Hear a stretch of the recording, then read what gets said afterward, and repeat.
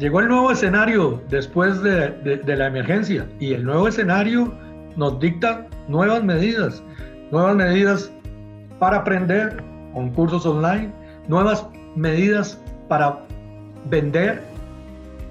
Es importantísimo las nuevas plataformas para comercializar productos, pero en materia de, de aprendizaje, que debemos de seguirlo haciendo, el, el, el, el hacerlo por medio de redes con interfaces fáciles de utilizar permiten que productores sigan estando actualizados en cuanto a tecnología, en cuanto a innovación, en cuanto a cómo producir. Por lo tanto, todo lo que vaya en función de acercar el conocimiento sin tener que, eh, o, o permaneciendo en este aislamiento social al que las autoridades de salud nos indican que es la mejor manera de prevenir la enfermedad, todo es bienvenido. Y, la idea de cursos online es una manera de facilitar el aprendizaje en los productores y productoras agropecuarios. Hay una nueva eh, tendencia, digamos, en el mundo de la capacitación que se llama los MINIMUC. Los MINIMUC son eh, módulos autogestionados de eh, educación. Son cursos muy cortos, un curso de aproximadamente 45 minutos, una hora, que le permite a las personas eh, eh autoprepararse en temas muy puntuales. En este caso, usamos el mismo tema del COVID-19 con recomendaciones específicas para la prevención en, en actividades agropecuarias eh, ya tenemos en dos semanas de tener el, mínimo operando más de 2.000 personas que se han matriculado. Usted lo puede gestionar, está disponible 24/7 en la página web de el ICA. Usted puede accesarla a cualquier hora del día, desde cualquier dispositivo, y en 45 minutos, una hora, usted puede llevar el curso. Es eh, un curso, digamos, totalmente eh, autónomo eh, e incluso usted, si está interesado, puede eh, certificarse, que ya llevó el curso y puede también imprimir. Ya tenemos más de 700 personas que han eh, solicitado, digamos, la certificación de este curso MINCLUB. También la, esta herramienta la veo muy útil. De hecho, yo ya tomé el curso, ya tengo mi, mi certificado. Sí, está muy, muy de la mano del, de la otra aplicación, en cuanto que trae una serie de, recomendaciones, pero aquí es en, un formato de, un curso en el cual está muy ilustrativo, eh, con videos, con audio, y, al final viene un, examen, una, evaluación que mide eh, pues lo que el, alumno haya aprendido de, este, de este curso la educación en línea o la educación a distancia utilizando tecnología, eh, hace rato está con nosotros. En ICA ya tenemos 20 años de estar trabajando en esto. Eh, en los últimos años habíamos trabajado intensamente en fortalecer las capacidades de los campos virtuales y las capacidades de los cursos y cómo ir generando más posibilidades y eh, hay cosas en donde este tipo de educación tiene una ventaja absoluta, que es en la formación de competencias. Y las competencias son cosas muy puntuales. Pues bien, los MOOC vinieron a revolucionar incluso la educación a distancia. Ahora los mini MOOCs son una herramienta poderosísima para aprender a hacer una cosa bien en un plazo muy corto. O sea, estas, estas medidas son tremendamente eficientes, tienen una gran eh, yo diría, un gran alcance.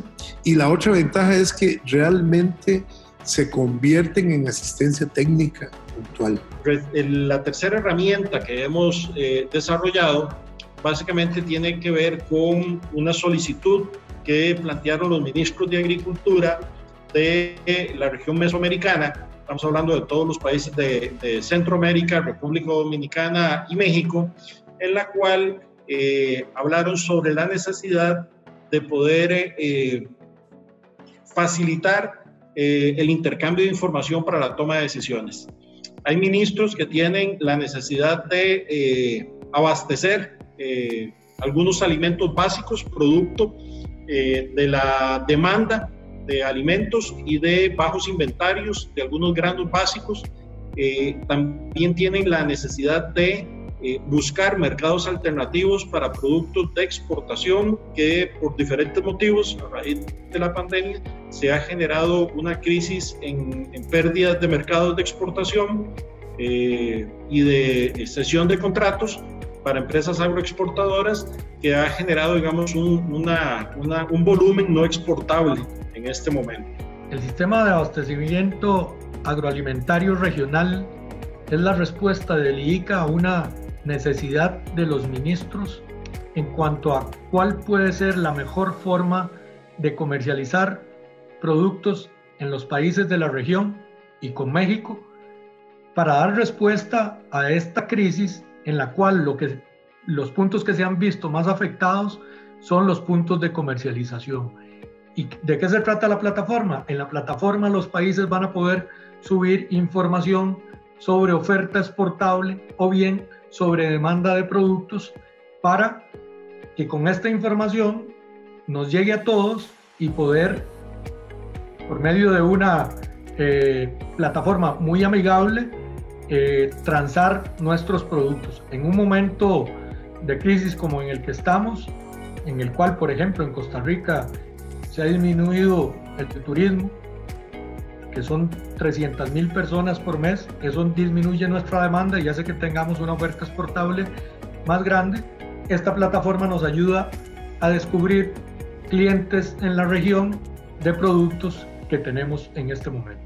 Por medio de esta plataforma tecnológica, eh, los ministerios vamos a, lograr eh, pues, identificar tanto solicitudes de, importaciones como de como oferta exportable disponible y de esta manera vamos a lograr que, que puedan encontrarse un productor con un importador, ya que de otra manera para ellos sí va a ser esto muy difícil.